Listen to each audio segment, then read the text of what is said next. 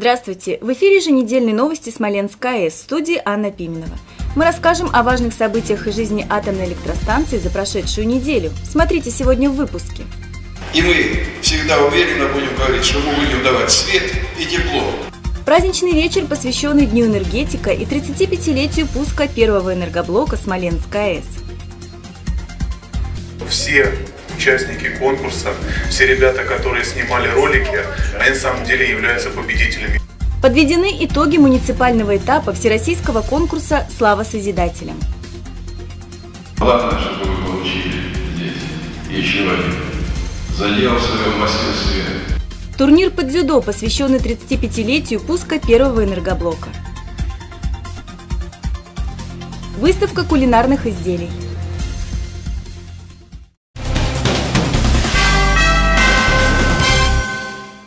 На плановом совещании с руководителями подразделений директор станции сообщил о работе концерна «Росэнергоатом» и подвел итоги уходящего года. На сегодня на 6 часов фактическая мощность 24 593 мегаватта, что соответствует 101,7% от задания ФАС.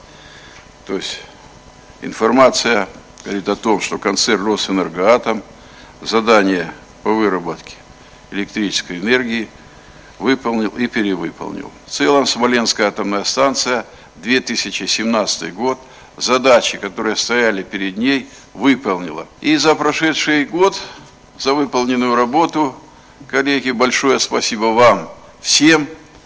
Прошу вот и персонал свой поздравить с этой вот, э, ну я считаю, достойной работой, которую мы провели в этом году, и на позитиве отработать эту неделю, и на позитиве уйти в Новый год. И поздравить всех с наступающим Новым годом. О техническом состоянии Смоленск АЭС сообщил главный инженер предприятия.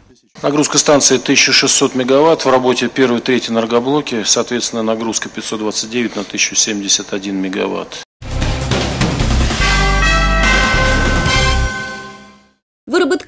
Электроэнергии за 25 дней декабря составила 960 миллионов киловатт-часов электроэнергии. С начала года выработано 22,3 миллиарда киловатт-часов. Радиационный фон на промышленной площадке Смоленск АЭС и прилегающей территории не изменялся и соответствует естественным природным значениям.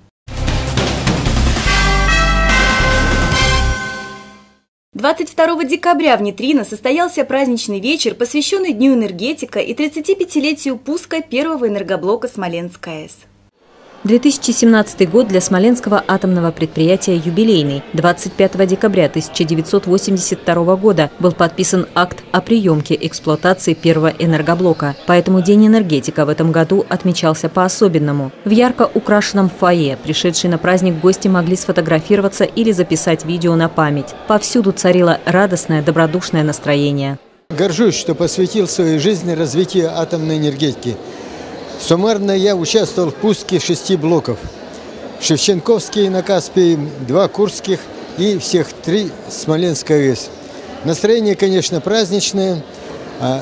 35. А Срок, конечно, солидный. Со дня пуска Смоленской АЭС. Вместо зоны санитарно-защитной, санаторно-курортная здесь.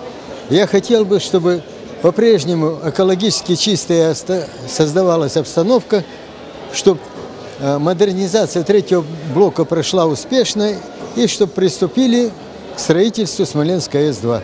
Настроение праздничное. Каждый год мы радуемся, когда наступает День энергетика. Считаем его своим профессиональным праздником.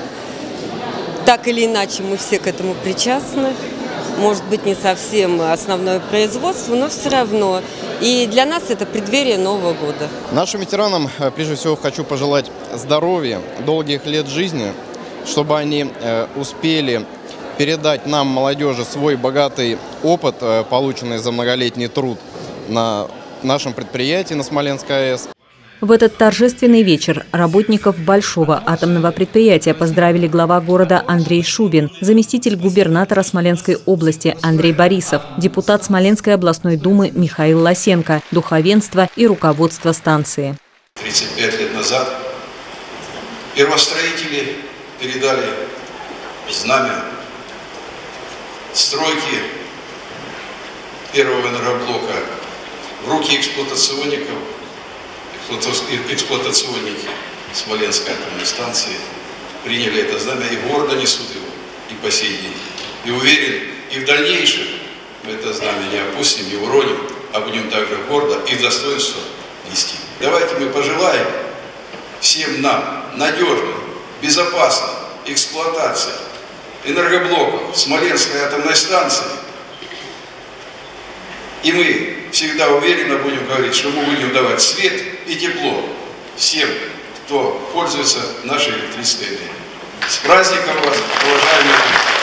От вашей компетентности, ответственности, инициативности зависит совершенствование социальной инфраструктуры, улучшение безопасности, реализация экономического потенциала города, повышение качества жизни горожан. Труд энергетиков заслуживает особого уважения и признательности. Высокие напряжения, круглосуточный график работы и повышенная ответственность – все это удел по-настоящему мужественных, преданных своему делу людей. Смолянам очень повезло. Именно на Смоленской земле построена атомная станция, построен замечательный город. Именно станция наполняет бюджет около 20% собственным доходом. Я часто встречаюсь с жителями, я не говорю о 30-километровой зоне, я слышу слова благодарности атомщикам. 20 десногорских атомщиков были удостоены почетных званий. Это те, кто много лет жизни отдал развитию и процветанию атомной энергетики. На основании решения Смоленской областной думы по поручению председателя Игоря Ляхова почетными грамотами Смоленской областной думы наградили директора Смоленск Атомтехэнерго Михаила Акульского, генерального директора Смоленской АЭС-сервис Эдуарда Синовоза, инженера отдела радиационной безопасности Смоленской АЭС Светлану Гасилову и костюмера сектора культурно-досуга досуговой и спортивной работы ППО САЭС Галину Шацкую. Адрес от Смоленской областной думы был передан директору Смоленской атомной станции Павлу Лубенскому. Самым главным подарком для энергетиков в этот вечер стал яркий концерт, подготовленный творческими коллективами сектора культурной и досуговой работы первичной профсоюзной организации Смоленской АЭС.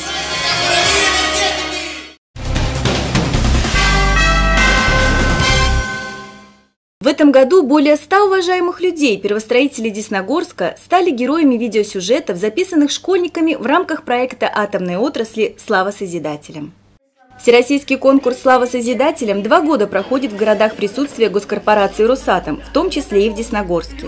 За это время учащиеся десногорских школ записали несколько сотен видеоинтервью с представителями старшего поколения – строителями, монтажниками, наладчиками, атомщиками, водителями, врачами, учителями, библиотекарями, работниками культуры и спортсменами. Они с удовольствием рассказывали о временах своей молодости, трудовых буднях и достижениях. Важная составляющая и нужная составляющая конкурса – это запечатлеть историю, историю города в лицах, историю, которую, вот, живую историю, даже то, что вспоминают наши ветераны. Но немаловажной частью конкурса является сподвигнуть вас, молодое подрастающее поколение, на более активную жизненную позицию. За вами будущее. Поэтому дерзайте, проявляйте инициативы, реализуйте инициативы, станьте достойными гражданами нашего государства. И все, что вы будете делать, уверен, это во благо и нашего города, и всей нашей страны. Жители Десногорска любят, помнят и чтут первостроителей города. Удивительные истории тронули души всех представителей жюри. В 2017 году решено было провести конкурс второй раз, потому что не все созидатели были охвачены. Сегодня мы чествуем победителей этого конкурса замечательного «Слава Созидателям». Но, выбрав несколько, хочу сказать, что все участники конкурса, все ребята, которые снимали ролики, они на самом деле являются победителями. И очень тяжело было из 114 роликов отобрать вот эти несколько которые можно признать победителями.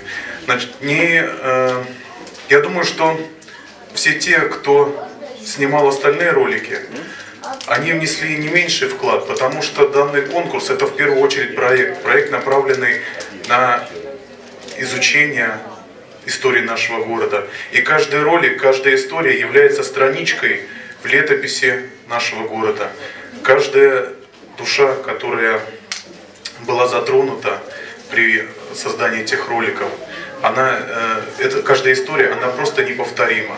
Ребята узнали много нового, много интересного. И вот, проводя встречи в школах, э, при промежуточных награждениях, при подведении промежуточных итогов, я несколько раз говорил о том, что те истории, э, которые они узнали в течение всего проведения конкурса, они, несомненно, помогут в их дальнейшей жизни. Поэтому я желаю вам всем удачи, желаю не останавливаться на достигнутом. На федеральный уровень от Десногорска вышли 10 роликов.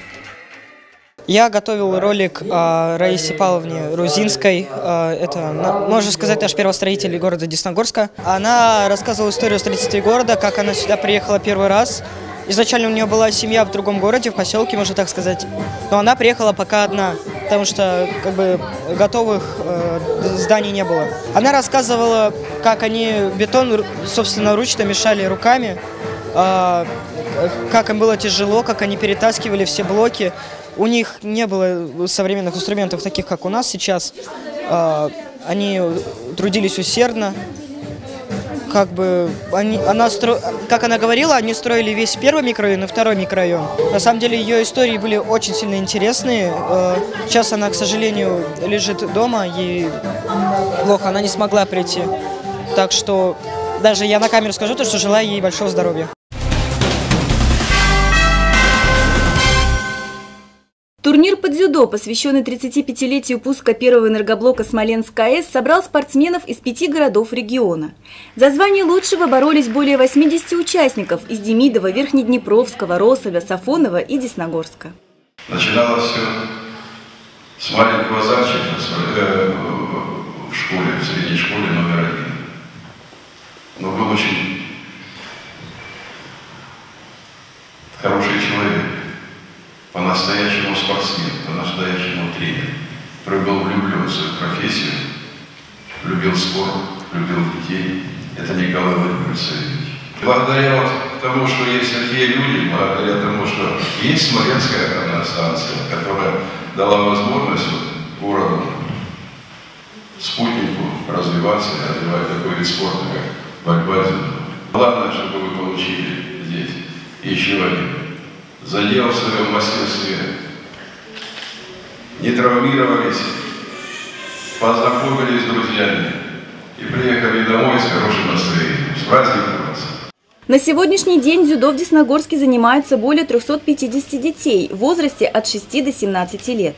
Среди воспитанников школы есть спортсмены первого, второго и третьего разрядов, победители и призеры областных и российских соревнований. Я научился не бояться этого, во-первых.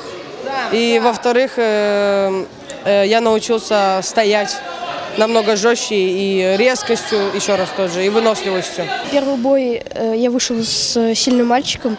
Я на самом деле думал, я ему проиграю, но я его сконтрил и бросил на Вазарию. Вот. И выиграл. Да, было очень тяжело с ним бороться. Медали турнира разыгрывались по весовым категориям в нескольких возрастных группах.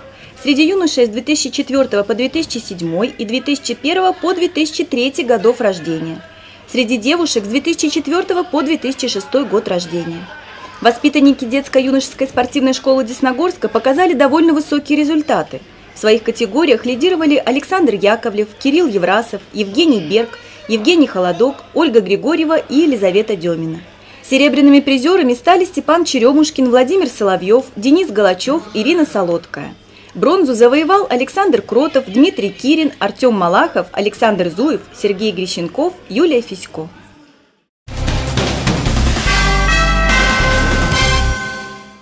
Двадцать первого декабря состоялась традиционная выставка-продажа, посвященная Дню энергетика и новогодним праздникам. Вкусные и красиво оформленные блюда всем пришедшим на обед атомщикам предлагали отведать работники столовой номер один Смоленск АЭС-сервис. Повара и кондитеры постарались на славу, представив широкий ассортимент блюд на любой вкус и по демократичным ценам. В течение часа изобильные столы заметно опустели, а вот на лицах атомщиков появились улыбки.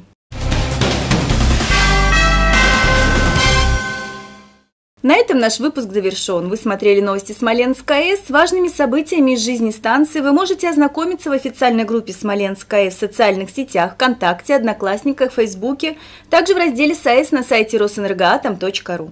А я с вами прощаюсь. Увидимся через неделю. Хороших вам новостей. До свидания.